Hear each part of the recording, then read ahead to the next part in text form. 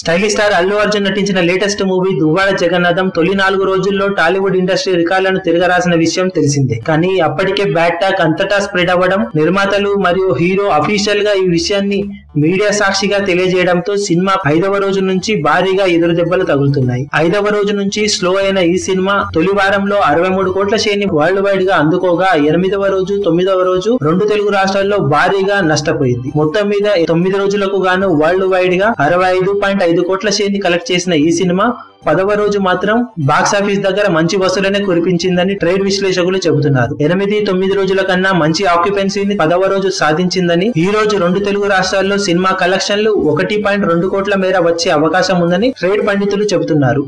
Release పదవ రోజు ఒక కోటికి పైగా షేర్ అంటే మామూలు విషయం కాదని దువ్వాడ జగన్నాథం ఇంత బ్యాడ్ టాక్ లోనూ ఒక కోటికి పైగా షేర్ వసూలు చేయడం గ్రేటేనని ట్రేడ్ విశ్లేషకులు అంచనా వేస్తున్నారు. మరి సినిమా అఫీషియల్గా ఎంత కలెక్ట్ చేసింది అనే వివరాలు మరికొన్ని గంటల్లో అప్డేట్ చేస్తాం. మీ అభిమాన హీరోలకు సంబంధించిన లేటెస్ట్ అప్డేట్స్ కోసం మా ఛానల్ని సబ్స్క్రైబ్ చేసుకోండి. ఏ చిన్న అప్డేట్ని మిస్ అవ్వకూడదు అనుకుంటే బెల్ ఐకాన్ని ప్రెస్ చేయండి. లైక్ షేర్ కమెంట్ చేయడం మర్చిపోకండి.